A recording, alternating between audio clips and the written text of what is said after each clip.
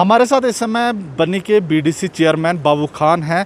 आइए इनसे भी बात करते हैं कि किस तरह का नुकसान जो है इस समय यहाँ पर लोगों का हुआ है और क्या कहना है इनका? बाबू खान जी, हम, हमने यहाँ पे दौरा किया और बहुत ज़्यादा नुकसान इस समय हमें हमें देखने को मिला है और यहाँ पर जो गुजरवाल गुजर बकरवाल तबके के लोग हैं, उनका ये भी कहना है कि बहुत ज़्यादा नुकसान हुआ है। आपसे समझने की कोशिश करूँगा कि किस तरह का नुकसान हुआ। है जी शुक्रिया। आपका जो इस वक्त इस ऐसे मौसम में कवरेज करने के लिए आए हैं इसके लिए आपका बहुत बहुत शुक्रगुजार है। तो हमारे तस, नायब तहसीलदार साहब भी लुआंग से आए हैं इनको डीसी साहब ने मैसेज दिया है कि बकरवालों का बहुत नुकसान हुआ है। तो सर बहुत ही ज़्यादा नुकसान हुआ है। जो बकरवाल पीछे पीछे हैं पहाड़ के करीब हैं शत्रगला के करीब हैं उनका बहुत ज़्यादा नुकसान हुआ है। जो नीचे हैं जो मार्केट के करीब हैं उनका कम हुआ है।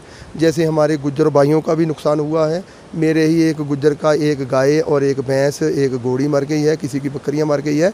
तो पीछे जो पाडर दशर मड़ुआ के बकरवाल हैं, उनका बहुत ज़्यादा नुकसान हुआ है। तो मैं सरकार से इनके लिए कुछ मदद चाहता हूँ, इनको राशन भी मुहैया करवाया जाए। बहुत बच्चे और बूढ़े बीमार भी हैं। बारिश दस दिन से लगातार से, मुझे आज आठवां दिन जहाँ पहुँचे हुए हो गया है तो आठ दिन से ही लगातार बारिश है। तो बारिश आगे भी कोई उम्मीद आसार नहीं है कि ये बारिश रुकेगी। तो इसलिए अगर किसी डॉक्टर को भी जहाँ भेजा जाए तो इनको इनकी दवाई वगैरह हो जाए तो वो भी अच्छा रहेगा। नहीं तो इनको भी इनकी जान को भी खतरा है। कितना डेरे हैं यहाँ पे इस समय जो गुजर बक, बकरवालों के? ये डेरे रुके हुए हैं दक्षिण मड़ुआ पाडर के डेरे रुके हुए हैं। मुझे लगता है डेढ़ सौ के करीब सरथल की इस चारों तरफ़ के जो जंगल हैं इनमें डेढ़ सौ के करीब डेरा हो सकता है। और यहाँ पर इस समय आपको बता दें कि तहसीलदार लुआंग जो है वो भी नायब तहसीलदार लुआंग जो है वो भी पहुँच चुके हैं। इनसे समझने की कोशिश करेंगे। तहसीलदार साहब यहाँ पर हम लोग पहुँचे और आप भी यहाँ पे पहुँचे हैं। और क्या कहना चाहेंगे जिस तरह से यहाँ पर जो गुजर बकरवाल तबके के लोग हैं वो ये कह रहे हैं अभी तक किसी भी तरह की राहत नहीं मिली है और बेहद परेशान हैं। क्या कहना चाहेंगे क्या देखा आपने अभी तक आपने? मैं सबसे पहले तो कृषि साहब मीडिया वालों का सबसे पहले शुक्रिया अदा करता हूँ कि जिन्होंने इस ख़राब मौसम में ये कवरेज कर रहे हैं। तो यहाँ काफ़ी नुकसान हुआ है। अभी हम लिस्ट बना भी रहे हैं कि कितनी पॉपुलेशन कितने लोग हैं, कितना उनका माल मवेशी है, कितने को नुकसान हुआ है और क्या क्या उनको चाहिए। तो हमने मैं लुआंग से चलती दफ़ा हमने मेडिकल वालों को भी कहा है कि वो भी अपना राउंड करें। वेटनरी और उनको भी कहा है शीबा वालों को कि वो भी माल मवेशी के देख, रेख के लिए उधर पहुँचें। तो हम अभी लिस्ट बना रहे हैं। हमारे पास तो अभी तक तो कुछ चालीस डेरों की लिस्ट आई है। बाकी हम देखेंगे कि कितने लोग और हैं, इधर फंसे हुए हैं। और जो भी गवर्नमेंट की तरफ़ से मदद होगी, वो हम मुहैया करवाएँगे।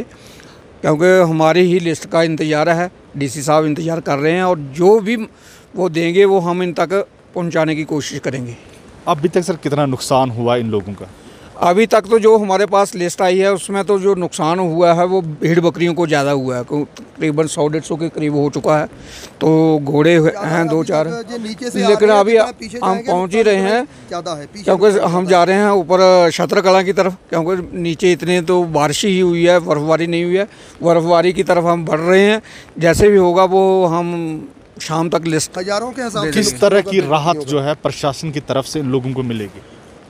राशन भी मिलेगा और जो नुकसान रिलीफ फंड में आएगा वो भी मिलेगा जो जो नुकसान होगा हर किस्म का होता है उसमें अलहदा अलहदा किस्में।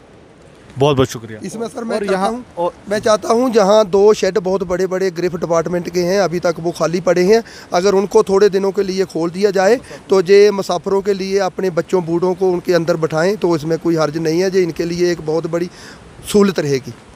और यहाँ पर आप देख सकते हैं कि बीडीसी चेयरमैन जो है वो पहुँचे और इनके साथ जो है नायब तहसीलदार लुआंग पहुँचे, उनके रेवेन्यू के लोग जो हैं, पटवारी यहाँ पर पहुँचे, उनके साथ पुलिस के अहलकार जो हैं, इस समय यहाँ पर पहुँचे हैं। और यहाँ पर मैं बता दूँ कि मौसम का कोई पता नहीं चल रहा है यहाँ पर इस समय सरथल में अभी भी बादल छाए हुए हैं और बारिश हो हल्की हल्की हो रही है।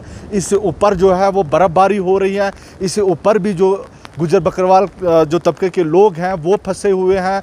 और फ़िलहाल यहाँ पर प्रशासन की तरफ़ से ये कहा जा रहा है कि पूरी तरह से यहाँ पर इन लोगों को राहत जो है वो मिलेगी और भरपूर इन लोगों की जो है वो मदद की जाएगी। ठीक है सर शुक्रिया जी। बनी के छतरगला इलाके से मैं हाफिज़ कुरेशी बनी अपडेट के लिए